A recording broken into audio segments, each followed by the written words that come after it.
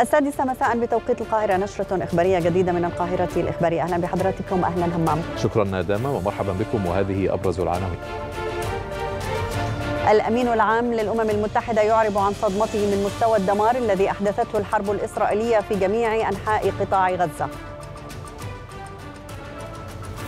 نتنياهو يقول إن كل إسرائيل أصبحت خط مواجهة ويؤكد عزم حكومته على مواصلة القتال بالجبهات كافة حتى النصر الكامل.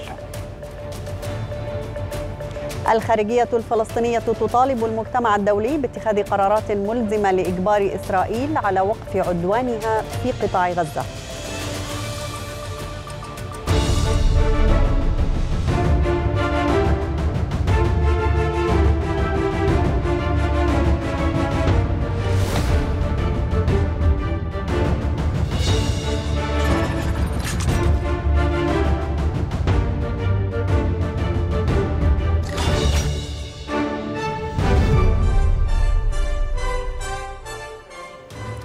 إلى تفاصيل هذه النشرة والبداية بآخر تطورات الأوضاع في قطاع غزة.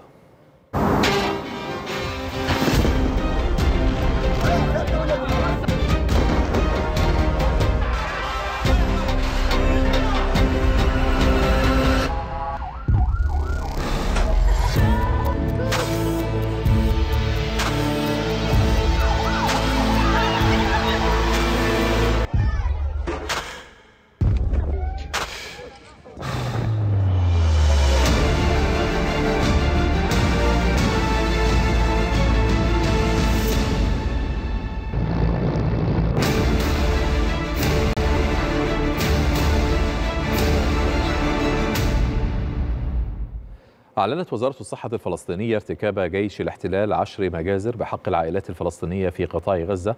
راح ضحيتها 112 شهيدا و157 مصابا خلال الساعات الأربعة والعشرين الماضية. وأكدت الصحة الفلسطينية ارتفاع عدد ضحايا العدوان الإسرائيلي على الفلسطينيين في قطاع غزة إلى 28775 شهيدا و68552 مصابا منذ السابع من أكتوبر الماضي.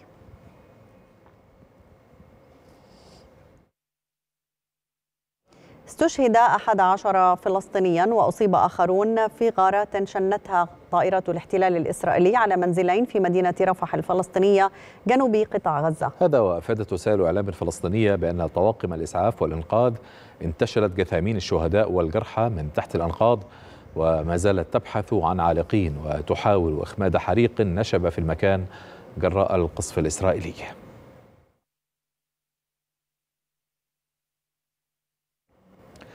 هذا وقالت وزارة الصحة الفلسطينية إن خمسة من المرضى في العناية المركزة قد استشهدوا نتيجة لتوقف الأكسجين بسبب انقطاع الكهرباء في مجمع ناصر الطبي في مدينة خان يونس جنوبي القطاع. وحملت الصحة الفلسطينية جيش الاحتلال المسؤولية عن حياة المرضى والطواقم الطبية في المجمع داعية جميع المؤسسات الأممية إلى سرعة التدخل لإنقاذهم.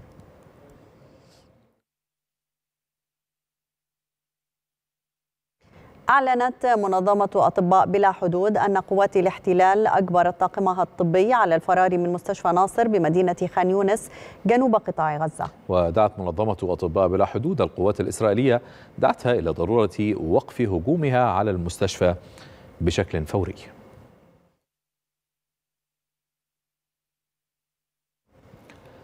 أكد الأمين العام للأمم المتحدة أنطونيو جوتيريش أن شيئا لا يمكن أن يبرر ما يفعله جيش الاحتلال الإسرائيلي بحق الفلسطينيين في قطاع غزة. وأبدى جوتيريش صدمته من مستوى الدمار الذي أحدثته الحرب الإسرائيلية على جميع أنحاء القطاع.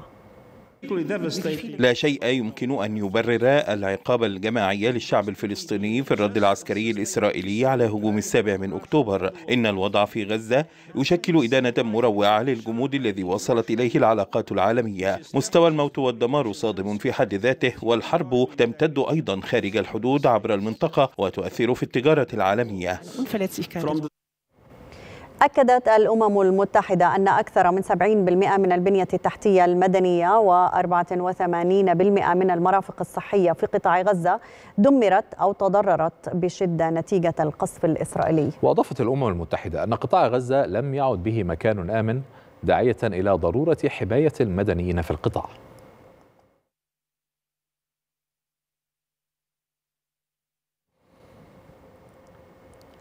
بعد أنباء العملية العسكرية الإسرائيلية المحتملة في مدينة رفح الفلسطينية جنوب قطاع غزة صار النازحون المكدسون هناك في موقف لا يتبينون منه مصيرهم. وفي ظل التهديد الإسرائيلي للمكان الآمن الأخير في غزة قرر بعض النازحين الرحيل من رفح والعودة إلى وسط القطاع.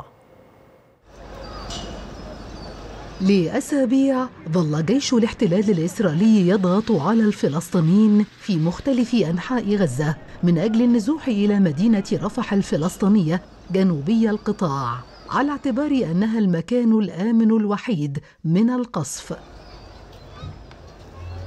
ولأن الأمر لا يعدو كونه خطة منزوعة الرحمة ولأنها إسرائيل شن جيش الاحتلال هجمات بين حين وآخر على المدينة التي وعد بأنها آمنة لكن الفلسطينيين المغلوبين على أمرهم لم يجدوا مفرا من البقاء في المدينة الأقرب إلى مصدر شاحنات المساعدات التي تدخل بصعوبة بالغة في ظل الصلف الإسرائيلي في التفتيش. أما الآن ومع إعلان رئيس حكومة الاحتلال بنيامين نتنياهو نيته تنفيذ عملية عسكرية في المدينة الفلسطينية المكدسة بالنازحين قرر البعض من هؤلاء المساكين أن يعودوا أدراجهم إلى وسط قطاع غزة فرارا من الاجتياح المحتمل الذي تدينه غالبية الأطراف الدولية حتى الداعمة منها لإسرائيل منذ بداية العدوان على غزة في السابع من أكتوبر الماضي. أنا بيتي راح من أول ثلاثة أيام من أول الحرب من أول ثلاثة أيام راح. وأنا قاعد بقول وبناشد إن شاء الله ربنا يقدر ونرجع غادي على الشمال. مش بدناش لا هجرة ولا بدنا. إحنا بدنا نضلنا قاعدين في غزة. إحنا نضلنا قاعدين في غزة وأنا بدي أضلني قاعد في بيت حنون كمان. وعلى الردم تبعي بيجيبوا أعمل لي نتفة خيمة وأقعد أنا وأولادي وخلاص. كأنهم بدو رحل. تنقل كثير من النازحين الفلسطينيين بين مدينة وأخرى في القطاع المنكوب. حاملين أخشابا وقطعا من القماش أو البلاستيك هي منزلهم المحمول. حكونا في منطقة هنا في الزوايدة إجينا. إجينا عليها قالوا يمكن آمنة. وهينا قاعدين فيها لبين الله ما يفرجها علينا. وبنعرفش وقتش يمكن يقوموا يهددونا يقولوا لنا اطلعوا منها. مش عارف الواحد وين بده يروح وين ضل؟ يعني إحنا قلنا منطقة رفح أأمن منطقة. بتضلها منطقة آمنة وبنقعد فيها وضلنا قاعدين فيها بس خلص هي بدهم يخشوها.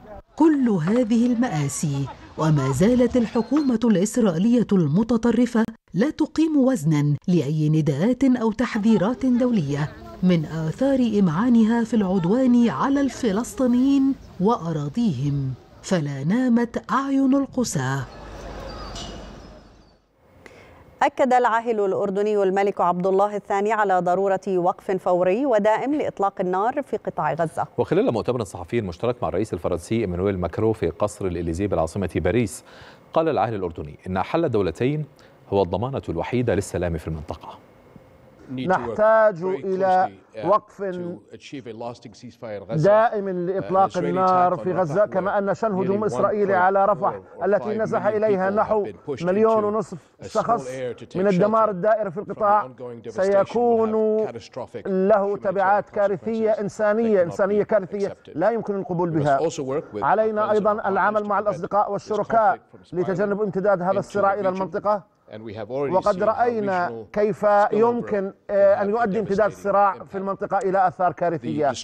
إذا استمرت الحرب المدمرة في غزة والتصعيدات في الضفة الغربية والقدس استمرت ستمتد أثار كل منهما إلى المنطقة بشكل كبير. إن الحل السياسي الذي يقود إلى السلام على أساس حل الدولتين هو السبيل الوحيد لضمان الأمن للفلسطينيين والإسرائيليين والمنطقة كلها.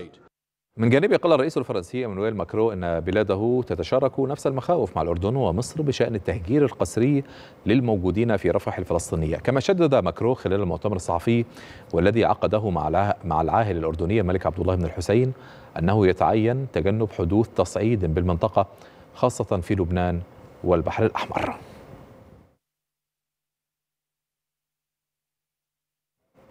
أكد المرصد الأورو متوسطي لحقوق الإنسان أن نحو 88 ألف طالب فلسطيني حرموا من مواصلة تلقي تعليمهم الجامعي وتعذر على 555 آخرين الالتحاق بالمنح الدراسية في الخارج بسبب استمرار العدوان الإسرائيلي على قطاع غزة.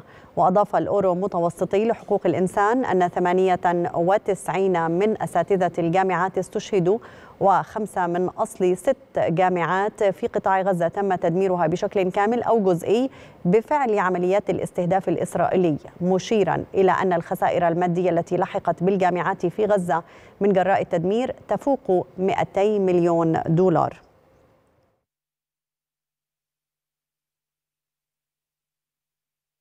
لمزيد من المتابعة ينضم إلينا من بروكسل رامي عبدو رئيس المرصد الأورو متوسطي لحقوق الإنسان في جنيف. أستاذ رامي أهلا وسهلا بك على شاشة القاهرة الإخبارية.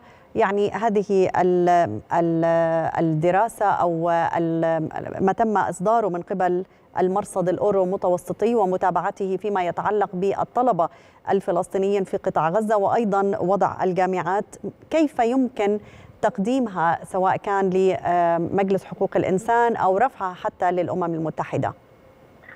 يعني بالتأكيد ما رصدناه هو يأتي في سياق ما تحدثنا عنه سابقا ليس فقط في إطار جريمة الإبادة الجماعية وإنما في إطار استهداف أسس الحياة وجعل غزة منطقة غير صالحة. وبالتالي نحن نعمل بشكل دائم على تزويد كل الجهات الدولية والآليات الدولية لحقوق الإنسان والجهات الأممية وأيضا على مستوى مؤسسات التعليم العالي حول العالم وفي هذا الصدد ربما شرعنا خلال اليومين الماضيين في حملة واسعة من أجل يعني إيصال مثل هذه الجرائم إلى المستويات الأكاديمية والجامعات حول العالم لإشراكها في ضوء ما يجري بحق الجامعات الفلسطينية ومطالبتها باتخاذ موقف موحد تجاه هذه الجرائم لأنه عمليا ما يجري حقيقة هو أمر غير مسبوق، نحن نتحدث بكل تأكيد عن استهداف شامل للتعليم سواء التعليم المدرسي أو التعليم الجامعي وهو ما يعني بكل تأكيد أن الفترة القادمة لن يكون بمقدور طلبة الجامعات الفلسطينية أو الجامعات الفلسطينية في قطاع غزة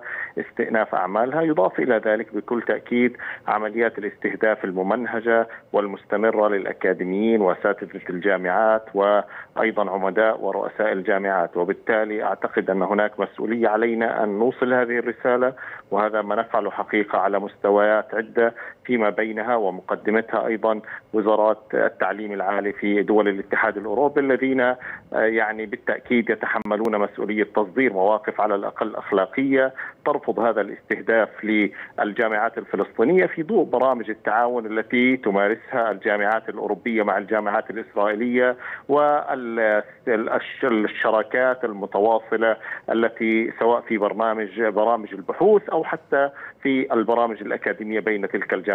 والجامعات الإسرائيلية.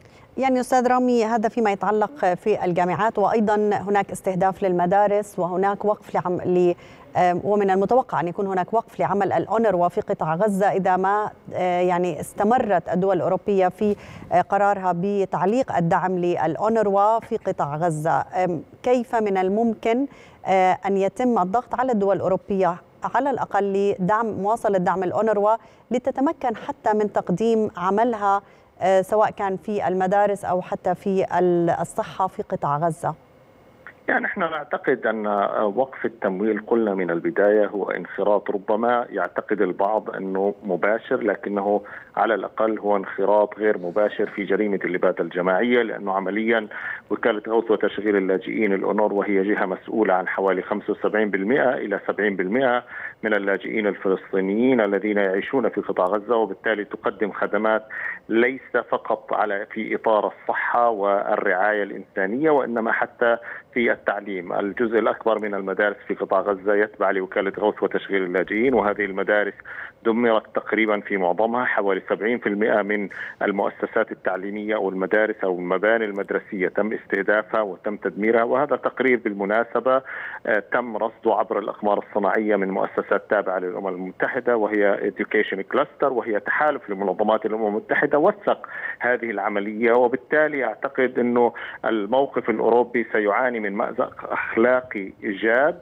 إذا استمر في إطار وقف عمليات التمويل لوكالة غوث وتشغيل اللاجئين بناء على ادعاءات إسرائيلية لم تحدث وبالتالي سينظر لهذا الموقف. ليس كذلك فقط وإنما انسياق وتساوق مع الرغبات الإسرائيلية. في شط الحق الفلسطيني فنحن هنا نتحدث عن حق العودة وعنوانه الأبرز هو عنوان اللاجئين الذي يعبر عنه عبر وكالة غوث وتشغيل اللاجئين. وبالتالي الاتحاد الأوروبي ودول الأوروبية مطالبة أكثر من أي وقت مضى باستئناف التمويل بل وزيادة التمويل وأيضا الضغط على الاحتلال الإسرائيلي من أجل وقف هذه الجرائم وأيضا حتى تحمل مسؤولياته في إعادة إعمار ما ارتكبه من عمليات تدمير ويعني تهديد لأسس الحياة في قطاع غزة. هل من الممكن أيضا يعني فيما يتعلق ب أيضا يعني تدمير خمس جامعات من أصل ستة وتأكيد المرصد على أن الدمار يفوق ال 200 مليون دولار. هل من الممكن أن تدخل هذه المبالغ ضمن أيضا حصة إعادة الإعمار بعد العدوان على قطاع غزة أولا؟ وهل من الممكن أيضا أن يكون هناك إعادة نظر للطلبة الذين لم يتمكنوا من الالتحاق في يعني الدراسة في الخارج وهذه المنح التي قدمت لهم؟ يعني بالتأكيد أنا أعتقد أن هناك حاجة على المستوى الدولي لخطة عاجلة من أجل إنقاذ قطاع التعليم العالي، ربما هناك حاجة لأن تتضافر جهود الجامعات في المنطقة أيضا لاستيعاب هؤلاء الطلبة وتقديم برامج، وأعتقد أن هناك بعض المبادرات لكن هذه المبادرات غير ناضجة حتى هذه اللحظة، وأيضا هناك مسؤولية على المجتمع الدولي جهة إعادة إعمار هذه المنشآت التعليمية وضمان انتظام العملية التعليمية وتزويدها ورفدها أيضا بالأكاديميين الذين قتل العشرات منهم وبالتالي نعتقد أنه هذه مسؤولية مجتمع كامل والمجتمع الدولي يجب عليه ليس فقط أن يتعاون فيما بينه ويدعم استئناف العملية التعليمية وإنما يتخذ إجراءات حقيقية من أجل محاسبة الاحتلال الإسرائيلي عبر وقف التعاون مع الجامعات الإسرائيلية وأيضا إجبار الاحتلال الإسرائيلي على تحمل تكلفة إعادة إعمار هذه المؤسسات وأيضا اتخاذ في المحافل الدولية والمحافل الأكاديمية. يعني تضع الاحتلال الإسرائيلي في موضع الاتهام والمساءلة والمحاسبة على هذه الجرائم لأنه لا يعقل بأي حال من الأحوال الاستمرار في البرامج الأكاديمية والبرامج التعليمية والتعاون مع مؤسسات الاحتلال العسكرية والتعليمية من قبل جامعات دولية ومؤسسات تعليم دولية في الوقت الذي يشن الاحتلال الإسرائيلي فيه حرب إبادة ضد المؤسسات التعليمية ومؤسسات التعليم العالي الفلسطيني على وجه الخصوص نعم كل الشكر لك أستاذ رامي عبدو رئيس المرصد الأورو متوسطي لحقوق الإنسان في جنيف. كنت معنا من بروكسل. هذا وبدأت البعثة المشتركة لكل من المنظمة العربية لحقوق الإنسان ومركز الميزان لحقوق الإنسان في فلسطين. بدأ توثيق شهادات الجرحى الفلسطينيين وذويهم خلال تلقيهم الرعاية الطبية في المستشفيات المصرية. وتضم البعثة فريقا مشتركا من المحققين الميدانيين من كلا المؤسستين. وقد بدأت البعثة نشاطها الميداني في الأراضي المصرية انطلاقا من مناطق شمال سيناء وتحديدا من معبر رفح الحدودي حيث يتم توثيق شهادات الجرحى والمصابين والتعرف على الوقائع التي أدت للإصابات وحجم الأضرار تمهيدا لربط هذه الشهادات مع الملفات الجاري إعدادها ميدانيا للتوثيق الجنائي للوقائع من أجل تقديمها للمحكمة الجنائية الدولية ولجنة التحقيق التابعة لمجلس حقوق الإنسان بالأمم المتحدة.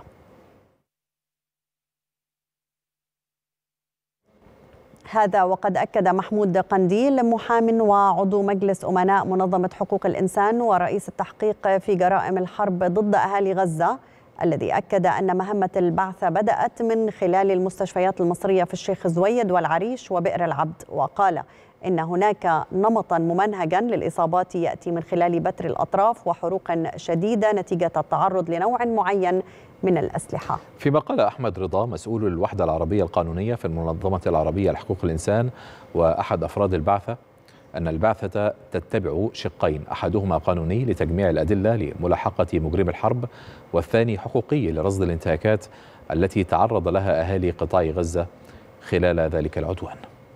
العمل البعثة ومهمتها الأساسية في توثيق جرائم الحرب اللي تمت في في غزة من خلال توثيق شهادات المصابين.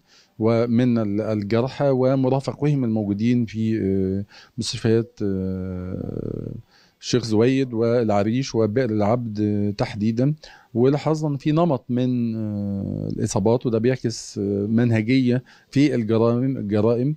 ونمط هذه الانتهاكات أو الإصابات يعني كان واضح في أغلب الإصابات بتر في الأطراف. وهناك أيضا يعني فوجئنا بنوع آخر من المصابات. يعني أول مرة نسمع عنه هو فقد فقدان الجلد. نتيجه التعرض لنوع معين من الأسلحة. في شقين في البعثه الشق القانوني اللي هو تجميع الأدلة أو الحالات اللي ممكن نستند إليها في في القضايا اللي ممكن نلاحق بها مجرمي الحرب الاحتلال الإسرائيلي. ودي مش أول مرة المنظمه بتعملها مع المركز الميزان والمراكز الفلسطينية. في الشق الآخر هو الشق الحقوقي اللي هو تقرير بعثه التقصي بيتنبي يعني بيشوف الحالات اللي موجودة يستمع للجرحى يستمع للمرضى يشوف الواقع الإنساني اللي مروا بيه الأنماط الانتهاكات اللي بيتم رصدها وكيف وتوثيقها ثم وضع بعض التوصيات الاستنتاجات الأرقام والشواهد اللي ممكن نوضح بيها سواء للحكومة المصرية اللي بنتعامل معاها أو حتى للحكومة الفلسطينية وما إلى ذلك يعني والمجتمع الدولي طبعا. قال رئيس الوزراء الإسرائيلي بنيامين نتنياهو إن عملية إطلاق النار في مستوطنة كريات ملاخي بشرق أسدود تشي بأن كل إسرائيل أصبحت خط مواجهة. وأكد نتنياهو عزم حكومته على مواصلة القتال حتى النصر الكامل على كل الجبهات واستعادة الأمن والسلام لجميع الإسرائيليين.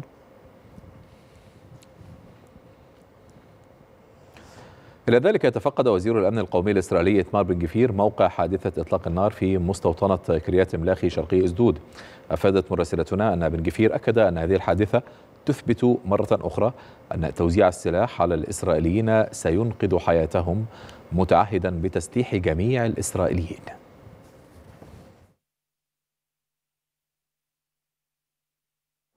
وكان جيش الاحتلال الإسرائيلي أعلن مقتل إسرائيليين اثنين وإصابة أربعة آخرين بجروح بالغة في إطلاق نار على موقف الحافلات شمال كريات ملاخي شرق أسدود. وأشارت وسائل إعلام إلى استشهاد منفذ عملية إطلاق النار في محطة الحافلات مضيفة أنه تم إجلاء الجرحى من موقع الحادثة وأن حالتهم بين متوسطة وخطيرة. وطلبت قوات الشرطة من السكان في بلدات قريبة من كريات ملاخي أن يبقوا في المنازل.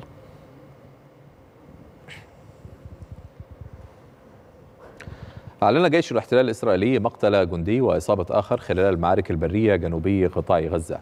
وبذلك ترتفع حصيلة قتلى جيش الاحتلال الإسرائيلي إلى 234 قتيلا منذ بدء المعارك البرية في قطاع غزة.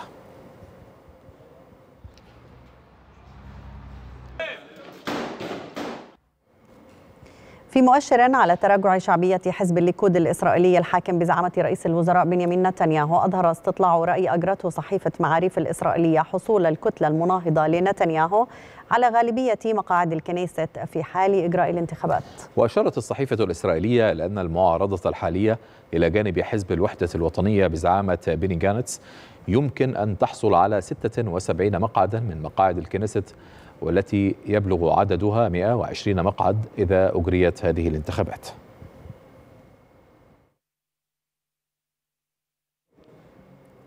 هذا واتسعت فجوة الخلاف بين رئيس الوزراء الإسرائيلي بنيامين نتنياهو ومجلس الحرب في ظل استمرار الحرب في قطاع غزة. وأصبح الائتلاف الحكومي بقيادة نتنياهو مهددا بالانهيار بسبب خلافات مع القادة الإسرائيليين حول تبادل الأسرى والمحتجزين وتنفيذ عملية عسكرية في رفح الفلسطينية. لم يكن رئيس الوزراء الإسرائيلي بنيامين نتنياهو ومجلس حربه يتخيلون أن قرار الحرب على غزة في السابع من أكتوبر الماضي سيكون بمثابة المسمار الذي يدق في نعشهم ويفرق شملهم. فاستمرار العدوان تسبب في حالة من الارتباك والخلافات وعدم الثقة بين قادة الاحتلال الإسرائيلي. الائتلاف الحكومي الهش بقيادة بنيامين نتنياهو كان قريبا من الانهيار بعدما بحث الوزيران بيني جانتس وجادي أزنكوت الانسحاب من مجلس الحرب متهمين نتنياهو بالانفراد بقرارات مصيرية تتعلق بصفقة محتملة لتبادل الأسرى والمحتجزين والتي استبعد جانس وإيزنكوت بشكل شبه كامل من عملية صنع القرار بها. ويرى محللون أنه يدور الحديث عن أن نتنياهو رفض مسودة اتفاق اضطراري أعدها الجيش بخصوص تبادل المحتجزين والأسرى ومنع الوفد الإسرائيلي من مناقشتها في القاهرة كما طلب من الوفد المشارك بالمفاوضات الاستماع فقط وعدم التفاوض. حالات الخلاف بين نتنياهو والقادة الإسرائيليين وصلت إلى حد العملية العسكرية المتوقعة في مدينة رفح الفلسطينية. فبحسب وسائل إعلام إسرائيلية فإن نتنياهو منزعج من تردد الجيش ومخالفة تعليماته لتنفيذ هذه العملية بسبب الضغط الدولي لعدم القدرة على تلك الخطوة. خلافات واضحة للعلن دفعت العديد من القادة الإسرائيليين وأهالي المحتجزين للتأكد من أن رئيس الوزراء الحالي يريد استمرار الحرب لأسباب شخصية ويكرس كل جهوده لإعاقة الحلول الدبلوماسية والسياسية من أجل الحفاظ على مستقبله السياسي. كل يوم يودع أهالي غزة أحبائهم ممن يستشهدون ولكن في ساعات الفجر تحديدا يزداد القصف الإسرائيلي بقدر كبير. صارت ساعات النهار في غزة موزعة بين وداع الأهل وصلاة الجنازة والذهاب إلى المقابر وانتظار يومي لموت مرتقب. تختلف العادات الصباحية في قطاع غزة. لم يعد يستيقظ الناس منذ شهور على رائحة القهوة بل يستيقظون على دخان الصواريخ وأتربة المنازل المدمرة. في صباح أيام غزة الحزينة لا تجتمع الأسر حول مائدة الإفطار ولكنهم يجلسون بجوار جثامين أحبائهم من شهداء يتساقطون في كل ساعة. في صباحات غزة ليس هناك تبادل لتحيات الصباح لقد استبدلت بصلاة الجنازة وقراءة أدعية المتوفي. نهار غزة لا يجلس فيه أهلها آمنين في منازلهم أو متنزهين في الحدائق أو متجولين في الشوارع. نهار غزة يقضيه أهلها في المقابر لدفن عائلاتهم. في ساعات الفجر تنفتح شهية العدو المتعطش للقتل والدمار. في تلك الساعات الساكنة التي يحاول فيها المنكوبون من أهالي القطاع إغلاق عيونهم ولو لدقائق للذهاب في عالم الأحلام على أمل الهروب ولو لساعات قليلة من الكابوس الواقعي الذي يعيشون فيه. تبدأ آلة القتل في سن أسلحتها والانقضاض كما الوحوش المخيفة لتهد مضاجع النيام وتحول لياليهم لرعب ونهارهم لحزن. كل ساعة يزحف الحزن ويعتصر قلوب أهل غزة. لم يعد هناك مفر ولا مهرب من الموت الذي يلاحق جميع سكان القطاع من شماله لجنوبه ومن شرقه لغربه. صار من بقي من أهل غزة ينتظرون دورهم في قوائم القتل التي قرر جيش الاحتلال الإسرائيلي إنجازها على مرأى ومسمع من العالم كله ويؤدي جيش الاحتلال دوره يوميا بأعلى درجات النشاط والدأب لشطب أكبر عدد من الأسماء المدرجة على قوائم انتظار الموت. نظم مجلس القبائل والعائلات المصرية بالتعاون مع عدد من الوزارات المصرية سباقا للركض من أجل غزة تضامنا مع القضية الفلسطينية. وشارك في السباق أكثر من عشرة ألاف متسابق ومتسابقة من أعمار وجنسيات مختلفة على أن يتم تخصيص جميع العائدات لصالح أهل قطاع غزة.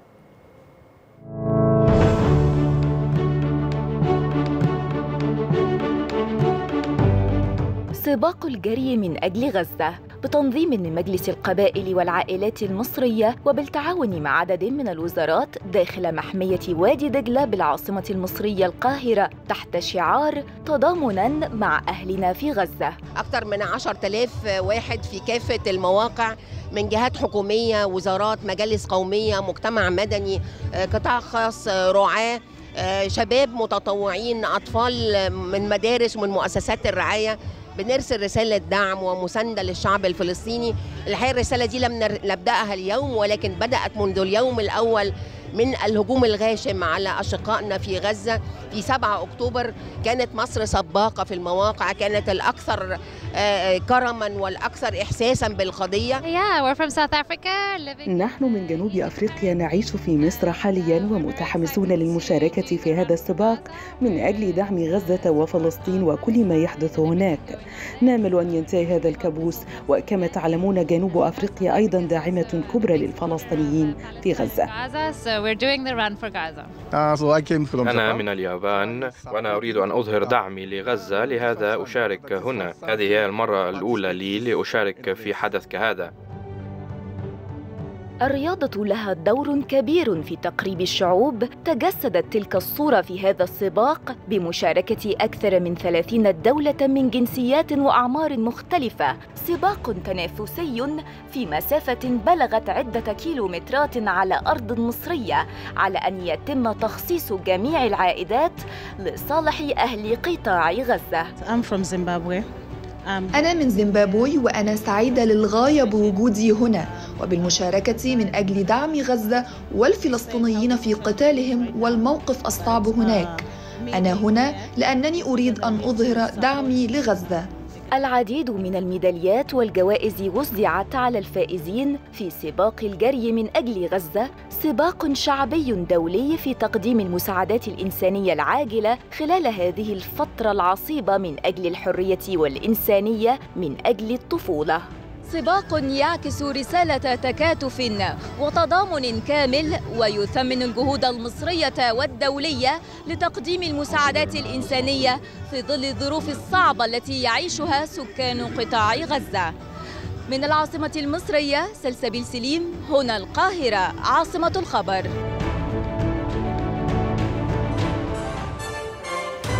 نشرة السادسة متواصلة من عاصمة الخبر وفيها بعد الفاصل العملية البحرية الأوروبية لحماية السفن في البحر الأحمر تنطلق يوم الاثنين القادم.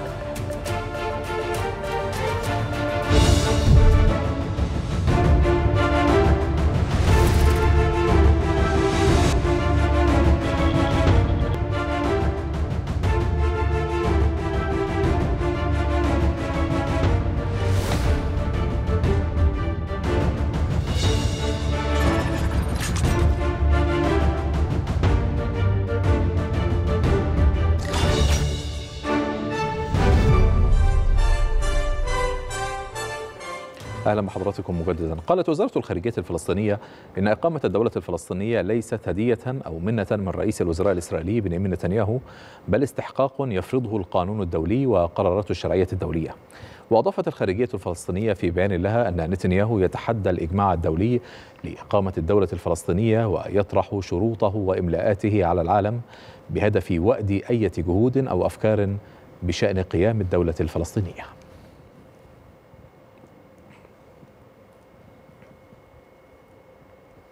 أقام المستوطنون الإسرائيليون 26 بؤرة استيطانية بالضفة الغربية خلال عام 2023 منها 10 بؤر منذ اندلاع العدوان العسكري على قطاع غزة. هذا وتشير التقديرات إلى أنه حال استمرار سياسة الاستيطان الإسرائيلي في الضفة فمن الممكن أن يتجاوز عدد المستوطنين 600 ألف بحلول عام 2030 في الضفة الغربية وحدها. المزيد في سياق العرض التالي مع الزميل محمد عبيد. شهد عام 2023 ارتفاعا قياسيا وغير مسبوق في إقامة البؤر الاستيطانية بالضفة الغربية حيث توفر سلطات الاحتلال الخدمات الأساسية لها وتتولى قوات الجيش حمايتها. خلال العام السابق شهدت الضفة الغربية إقامة 26 بؤرة استيطانية غير شرعية لم تعترف بها الحكومة الإسرائيلية رسميا إلا أنها قامت بتقديم الدعم الكامل لها بما يخالف القوانين الدولية. ومنذ بدء العدوان الإسرائيلي على قطاع غزة شرع المستوطنون في بناء عشر بؤر استيطانية مستغلين في ذلك انشغال العالم بالحرب التي تمارس بحق الفلسطينيين في قطاع غزة. وتشير التقديرات أنه حال استمرار سياسة الاستيطان الإسرائيلية في الضفة الغربية فمن الممكن أن يتجاوز عدد المستوطنين في الضفة ل 600 ألف بحلول عام 2030 الولايات المتحدة الأمريكية والعديد من الدول الأوروبية فرضت عقوبات على مستوطنين إسرائيليين شاركوا في أعمال عنف بحق المئات من الفلسطينيين في الضفة الغربية. ويبلغ عدد التجمعات الاستيطانية 300 تجمع في الضفة الغربية والقدس الشرقية وفقا لمنظمة السلام الآن الإسرائيلية ومنظمة غير حكومية كاشفة أن هذا الرقم يتكون من 146 مستوطنة معترف بها إسرائيليا و154 بؤرة استيطانية عشوائية. المستوطنون ينقسمون إلى فئتين الأولى تنطلق من أيديولوجية دينية يسعى أتباعها إلى استرجاع الأراضي التوراتية والثانية تعيش في المستوطنات بسبب السكن الرخيص والحوافز المالية التي تقدمها الحكومة الإسرائيلية لسكان تلك المستوطنات. تعتبر أو تعتبر الغالبية العظمى من دول العالم أن البؤر الاستيطانية غير قانونية بموجب القانون الدولي وانتهاكا لاتفاقية جنيف الرابعة التي تحظر على القوة المحتلة نقل سكانها إلى المناطق الخاضعة للاحتلال. بينما تعارض كل من إسرائيل والولايات المتحدة هذا التفسير للقانون. منذ نشأة الاحتلال باشرت الحكومات الإسرائيلية المتعاقبة الاستيلاء على الأراضي الفلسطينية في الضفة الغربية وتشييد المستوطنات واتبعت سياسة منهجية مشجعة لهجرة الإسرائيليين إليها عبر منح مكافآت ومحفزات اقتصادية مباشرة للمستوطنين. وذلك في ظل صمت دولي ضد ما ترتكبه إسرائيل من مخالفات تضاف لسجل جرائمها بحق الفلسطينيين. في نبأ عاجل قال مصدر مسؤول في هيئة المعابر والحدود في قطاع غزة. إن ما جرى قبل قليل في معبر رفح البري من الجانب الفلسطيني لم يتم اقتحامه كما يتم تداوله عبر وسائل الإعلام ومنصات التواصل الاجتماعي. وأكد المصدر أن مجموعة من المواطنين النازحين بجوار معبر رفح البري من الجانب الفلسطيني الذي يقع شرقي محافظة رفح جنوبي القطاع. أشعلوا إطارات السيارات أمام البوابة الرئيسية للمعبر. وبين المصدر أن النازحين بعد إشعالهم إطارات السيارات فتحوا بوابة المعبر واعتدوا على شاحنات تحمل مساعدات غذائية كانت في طريقها للقطاع. وأشار المصدر إلى أنه تم إرسال دوريات تابعة للشرطة الفلسطينية لضبط الوضع الميداني وتأمين شاحنات المساعدات. قال نادي الأسير الفلسطيني إن سلطات الاحتلال الإسرائيلي جددت أوامر الاعتقال الإداري للمئات من الذين اعتقلوا بعد السابع من أكتوبر الماضي لمدة تتراوح من شهرين إلى أربعة أشهر. وأكد نادي الأسير الفلسطيني أن جريمة الاعتقال الإداري تشكل أبرز سياسات القمع والسيطرة بحق الفلسطينيين موضحا أن عدد أوامر الاعتقال الإداري بلغ أكثر من 3490 وأن عدد المعتقلين الإداريين حتى نهاية شهر يناير الماضي بلغ 3484 بمن فيهم النساء والأطفال. أعلن حزب الله اللبناني مقتل اثنين من عناصره بغارات إسرائيلية على جنوب لبنان. كما أعلنت حركة أمل اللبنانية مقتل ثلاثة من عناصرها خلال استهداف إسرائيلي لمنزل في بلدة القنطرة في قضاء مرجعيون في جنوب لبنان.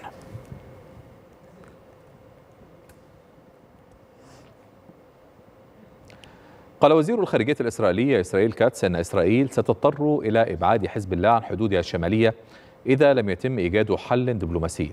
وأضاف وزير الخارجية الإسرائيلي أن على العالم أن يضغط على إيران وحزب الله للانسحاب من جنوب لبنان. كما أكد كاتس أنه لا نية لدى الحكومة لترحيل أي فلسطيني من قطاع غزة. أعلنت وزارة الخزانة الأمريكية بدء سريان العقوبات التي فرضتها الولايات المتحدة على جماعة الحوثي ودخولها حيز التنفيذ. تأتي العقوبات الأمريكية على الحوثيين بعد تنفيذهم هجمات على السفن التجارية في البحر الأحمر. كانت الحكومة الأمريكية أعلنت الشهر الماضي أنها ستعيد إدراج الحوثيين على قائمة الإرهاب لوقف هجماتها على حركة الشحن الدولي.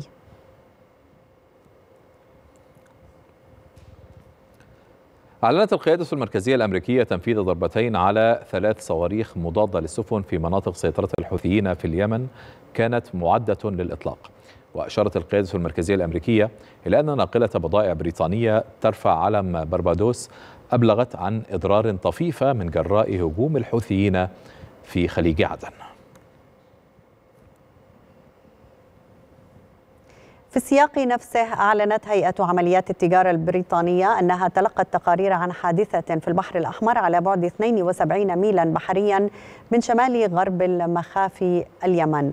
وأفادت جماعة الحوثي أن طائرات أمريكية وبريطانية شنت غارات على منطقتي الجبانة والجاح في محافظة الحديدة اليمنية الساحلية.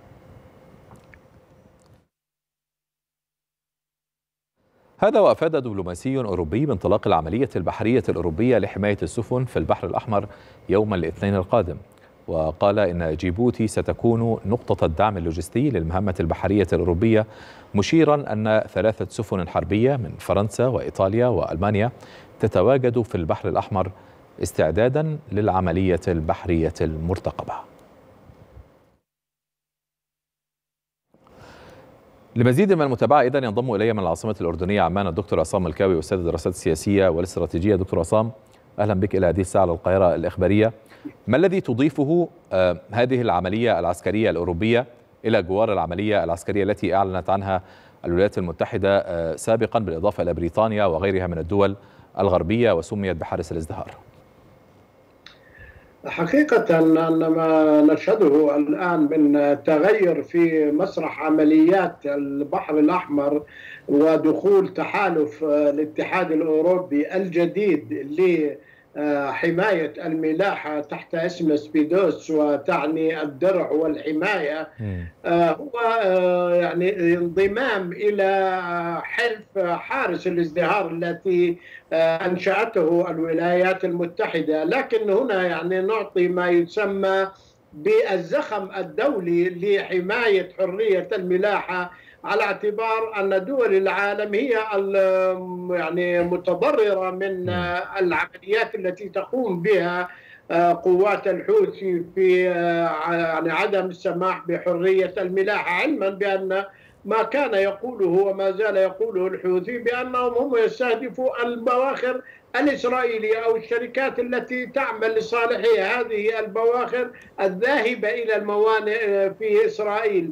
لكن يعني يبدو أن العالم الآن يحاول أن يكون حليفا لإسرائيل في هذه الهجمة. ويعني نحن هنا لا نقرر أن يحق للحوثي أن يعمل ما يشاء ولكن لماذا يحق لإسرائيل أن تفعل ما تشاء؟ ويحق للعالم أن يدعمها بكل ما أوتي من قوة. ولا يوجد هنالك من ينظر إلى الضحايا والشهداء والقتلى في قطاع غزة أولئك الذين ليس لهم لا ماء ولا صحيح. طعام ولا طيب. دواء يعني هنا المعايير المزدوجة التي نلاحظها في التعامل الدولي مع القضايا التي تخص صحيح. الشعب الفلسطيني صحيح. لكن دعنا نعود إلى ما يتعلق بالبحر الأحمر وتأمين وهاتين العمليتين العسكريتين الأمريكية أو التي تترأسها الولايات المتحدة والأخرى التي تترأسها أو الأوروبية التي أعلن عنها أنها سوف تنطلق يوم الاثنين القادم. هل يمكن أن نستنبط فلسفة هذه العملية؟ هل هي عملية لشن هجمات على الحوثيين في اليمن كما يحدث في العملية الأمريكية البريطانية ام أنها فقط لمجرد حماية السفن الأوروبية في نطاق البحر الأحمر؟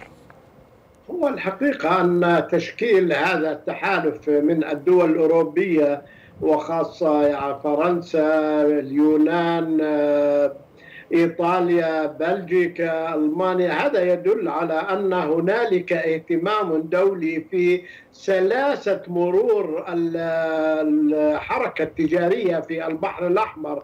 وعندما يعني تم تشكيل هذا التحالف وسينطلق اعتبار من أعتقد يوم الاثنين 19 فبراير وهو هذه المرحلة الأولى التي أعلن عن تشكيل ووضع الميزانية من خزانة الاتحاد الأوروبي لتمويل هذه العملية التي يقوم بها الاتحاد الأوروبي والمسمى بالدرع والحماية نعم.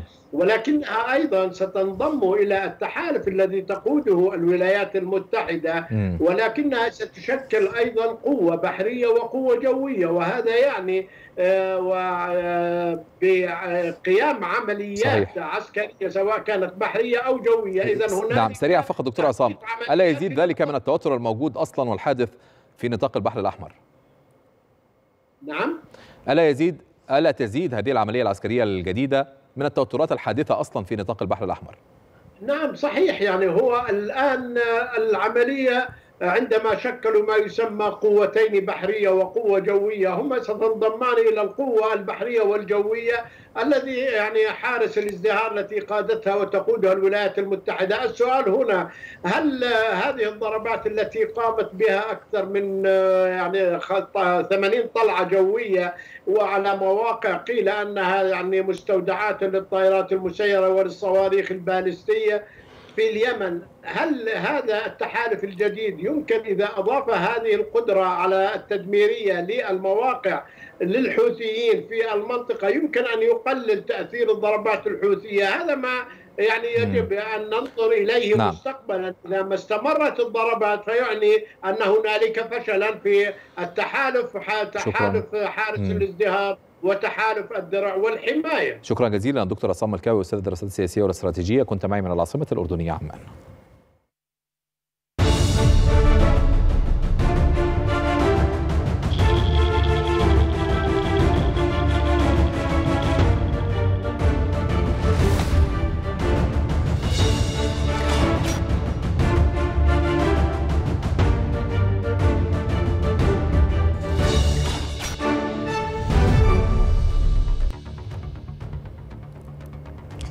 اقتصاديا أبقى البنك المركزي الروسي سعر الفائدة عند 16% بعد خمس زيادات متتالية في تكاليف الاقتراض. وتراجع الروبل إلى أدنى مستوى منذ بداية العام الجاري. ورفع بنك روسيا أسعار الفائدة بواقع 850 نقطة أساس منذ يوليو الماضي بما في ذلك زيادة طارئة في أغسطس مع تراجع الروبل إلى أكثر من 100 روبل مقابل الدولار. وهو ما دفع الكرملين إلى المطالبة بسياسة نقدية أكثر تشددا لكنه أشار مؤخرا إلى نهج أكثر تساهلا. قالت وكالة بلومبرج أن صناديق الاستثمار في الولايات المتحدة شهدت خروج أكثر من أربعة مليارات دولار خلال الأسبوع الماضي مدفوعة بتخارج الأموال من الصناديق الحكومية. كما أضافت الوكالة أن الصناديق شهدت إقبالا من المستثمرين الأفراد منذ بدء واحدة من أكبر جولات التجديد النقدي منذ عقود في عام 2022 وتشير التوقعات إلى أن استثمارات المؤسسات ستقود تدفق الأموال في تلك الصناديق خلال العام الجاري حيث تفضل المؤسسات تحويل استثماراتها إلى أسواق النقد مع الاتجاه لخفض أسعار الفائدة.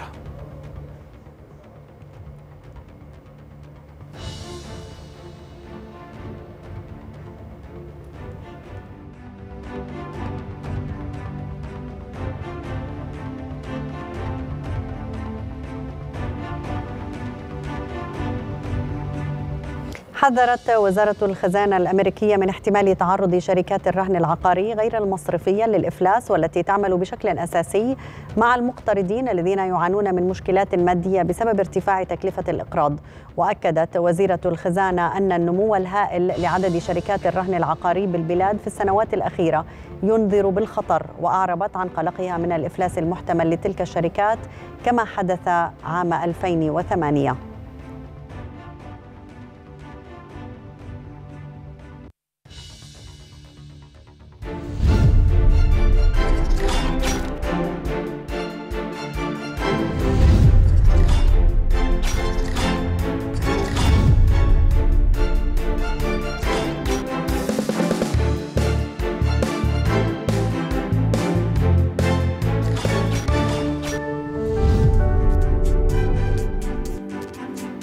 إلى جولتنا الرياضية حيث رفض لويس إنريكي مدرب باريس سان جيرمان التعليق على التقارير التي أشارت لاقتراب رحيل لاعبه كيليان مبابي. وأضاف المدرب الإسباني أن الفريق الباريسي سيبقى هو الأولوية المطلقة بعيدا عن أي لاعب. ليس لدي أي تعليق. عندما تتحدث الأطراف المعنية سأعطي رأيي بكل سرور. أنا هنا أعمل من أجل أن نكون أفضل فريق ولن أتحدث فيما يخص كيليان مبابي حتى تتحدث الأطراف التي لها شأن في ذلك. النادي سيبقى الأولوية المطلقة بعيدا عن أي شيء. أنا أعمل كل يوم على حدة وأخطط للمستقبل القريب دون أن أفكر كثيرا في المستقبل البعيد. وكانت تقارير صحفية قد ذكرت أن قائد منتخب فرنسا كيليان مبابي أبلغ باريس سان جيرمان برحيله في يوليو القادم ليصبح لاعبا حرا بعد سبع سنوات من انضمامه للفريق. وأكدت التقارير أن مبابي أبلغ باريس سان جيرمان بقراره لكن الطرفين لم يتفقا بالكامل على بنود الرحيل. ومن المتوقع صدور إعلان رسمي بمجرد الوصول لاتفاق النهائي في الأشهر القليلة القادمة. وانضم المهاجم الفرنسي إلى باريس سان جيرمان قادما من موناكو في عام 2017 وساعد الفريق الباريسي على الفوز بخمسة ألقاب في الدوري الفرنسي.